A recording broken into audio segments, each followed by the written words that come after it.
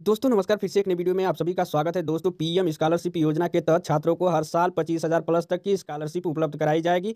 2022 और 23 में छात्रवृत्ति के लिए आवेदन शुरू की जा चुकी है। केंद्र सरकार और राज्य सरकार के द्वारा शुरू की गई इस स्कीम का उद्देश्य देश के उन सभी बच्चों को जिनका संबंध अर्धसैनिक बल रेलवे कर्मी भूतपूर्व सैनिक, तटरक्षक आतंकवाद और नक्सली हमले में मारे गए परिवार से संबंध रखने वाले हैं, उन्हें लाभ पहुँचाना है। ऐसे परिवारों से संबंध रखने वाले बच्चों को पीएम स्कॉलरशिप प्रदान की जाए जाएगी इन परिवारों के बच्चों को शिक्षित करवाने के लिए इस योजना का गठन किया गया है। इस स्कॉलरशिप योजना के माध्यम से दो तरह के स्कॉलरशिप प्रदान की जाएगी। पहला भूतपूर्वक सैनिक कल्याण विभाग, केंद्रीय सैनिक बोर्ड सचिवालय, रक्षा मंत्रालय द्वारा दी जाएगी। दूसरी स्कॉलरशिप इलेक्ट्रॉनिक्स और सूचना प्रौद्योगिकी के तहत दी जाएगी।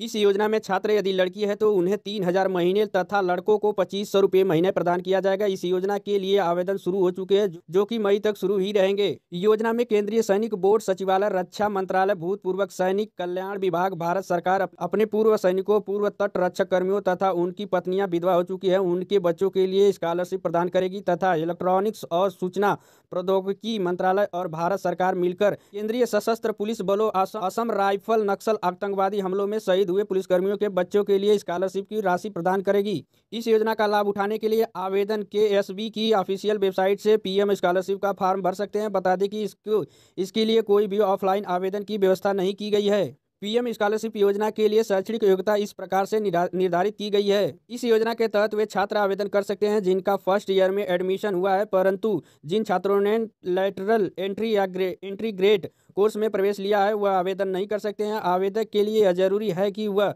भूतपूर्व सैनिक या तट रक्षा कर्मियों के बच्चे होने चाहिए। आवेदक छात्र को डिप्लोमा या ग्रेजुएट में 60 परसेंट से ज़्यादा अंक प्राप्त होने चाहिए जो छात्र सेकेंड ईयर से आगे के वर्षों की शिक्षा प्राप्त कर रहे हैं, उनको इस योजना का लाभ नहीं मिलेगा और मास्टर की डिग्री कोर्स वाले छात्र पात्र नहीं माने जाएँगे।